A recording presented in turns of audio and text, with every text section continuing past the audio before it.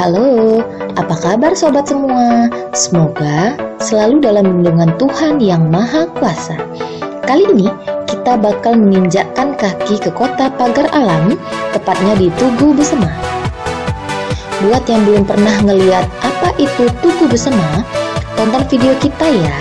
Jangan lupa subscribe, like, and comment sebelum menjelajah.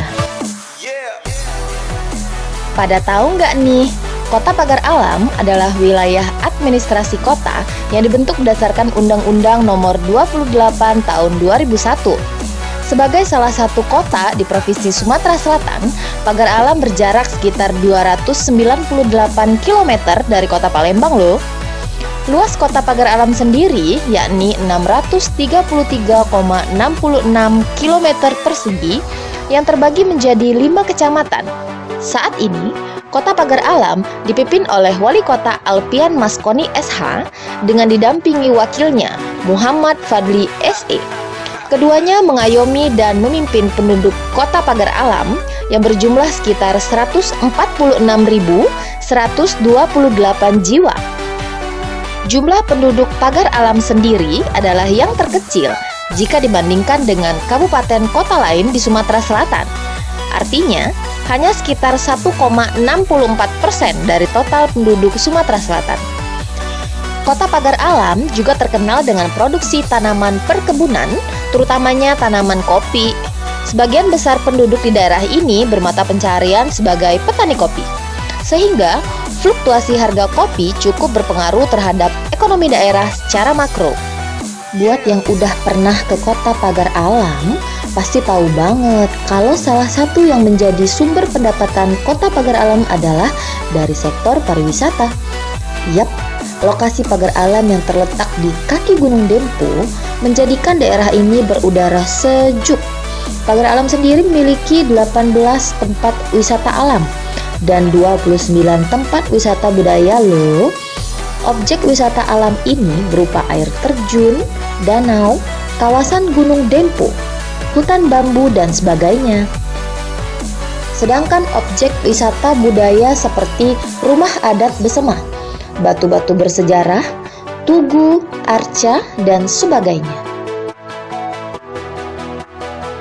Sebagaimana wilayah lainnya di Indonesia, Pagar Alam juga punya jargon loh. Jargon khasnya yakni Besemah. Besemah merupakan singkatan dari bersih, sejuk, aman, dan ramah tamah. Singkatan aja. Oh, ternyata tidak. Besemah berasal dari kata semah yang merupakan nama sejenis ikan. Nah, ikan ini adalah ikan khas daerah sekitar Gunung Dempo dan diyakini saat ini sudah hampir punah. Terus, selain berarti nama ikan, Semah juga merupakan nama sungai yang terdapat Desa Tebat Gunung, Kecamatan Dempo Selatan. Tahu nggak, di Sungai Semah yang diyakini merupakan tempat ikan semah berada, ditemukan pertama kali oleh kakek leluhur di daerah tersebut, yaitu Puyang Atung Bungsu. Dan ternyata, tak hanya di sini, ikan semah ini kemudian juga ditemukan di beberapa sungai di pagar alam sehingga kemudian muncul sebutan besema yang berasal dari kata ber yang berarti mempunyai, kemudian dilafalkan be, terus digabungin sama kata semah. Maka jadilah sebutan besema, sehingga wilayah pagar alam dan sekitarnya yang ditemukan ikan semah di sungai-sungainya yang banyak itu disebut sebagai tanah besemah hingga sekarang. Ngomongin soal Tugu Besemah, yuk kita eksplor.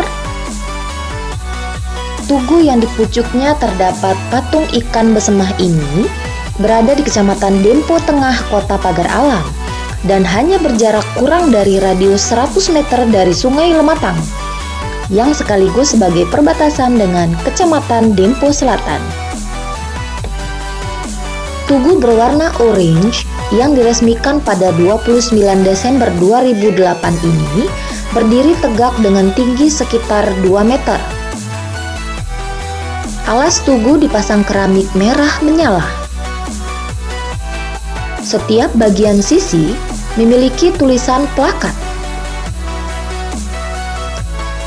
Tulisan yang ada yakni menjelaskan tentang jagat besema, sumbai besema, plakat peresmian Tugu, plakat singkatan dari Besema, dan sebagainya. Di atas plakat terdapat ukiran yang dibentuk bulat, melengkapi indahnya Tugu Besema. Sayang sekali, beberapa bagian Tugu banyak dirusak oleh oknum tak bertanggung jawab. Bahkan, beberapa tulisan plakat dicoret menggunakan cat semprot. Duh, sayang sekali ya. Padahal nih, kalau kita berdiri di samping tugu ini, kita bakal ngeliat sebagian indahnya alam kota pagar alam ini loh. Kalau karena letak tugu berada di atas tebing di antara jalan berliku dan sekaligus menjadi salah satu yang terkenal dari kota ini ialah tikungan yang menanjak serta curam, dikenal dengan nama Likuan Lematang. Jalanan yang sempit diapit oleh jurang dengan kedalaman ratusan meter serta tebing yang tinggi dipadu dengan tikungan tajam dan tanjakan panjang. Belum lagi bencana longsor yang mengancam saat musim penghujan datang, membuat adrenalin setiap pengendara yang melintas di jalur ini menjadi meningkat. Tak heran, likuan lematang ini telah banyak menelan korban jiwa akibat kecelakaan lalu lintas. Pada akhir tahun 2019 lalu, terdapat kecelakaan bus Sriwijaya yang menghebohkan bus dengan nomor polisi BD7031AU rute Bengkulu Palembang ini terjun bebas ke jurang di Liku Lematang, Desa Perahu Dipo, Kecamatan Dempo Selatan, Pagar Alam. Kecelakaan yang terjadi Senin malam, tanggal 23 Desember 2019 ini mengakibatkan 35 orang penumpang meninggal dunia dan 13 orang selamat. Bus ini diduga tidak dapat menaiki tanjakan tajam sehingga mundur menabrak beton pembatas jalan, kemudian terjun bebas ke jurang. Selain Liku Lematang, Pagar Alam juga memiliki lokasi lain yang gak kalah menantang loh, yaitu Liku Endikat. Jalur yang sempit dan berkelok-kelok dengan ketinggian berbeda-beda membuat para pengendara harus lebih berhati-hati saat melintasinya. Likuan dan jembatan Endikat adalah legenda sekaligus saksi sejarah kota pagar alam. Dibangun sejak era kolonial Belanda dan telah berumur ratusan tahun lamanya.